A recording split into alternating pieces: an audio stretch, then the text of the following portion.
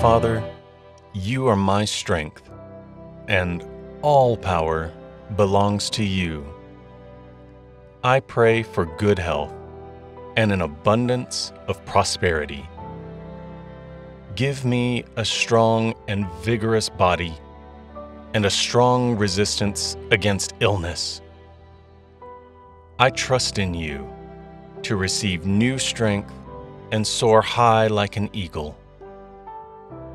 Bless me with a strong immune system so that I have a powerful defense against bacteria and viral infections. I ask for prosperity for my body. Lord, please grant me many more years of life, a sound mind, strength to my muscles, and excellent agility.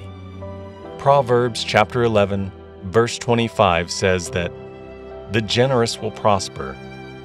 Those who refresh others will themselves be refreshed. Prosper me, Lord, as I become a blessing unto others. I ask you this day to bless me so that I stay healthy all the way.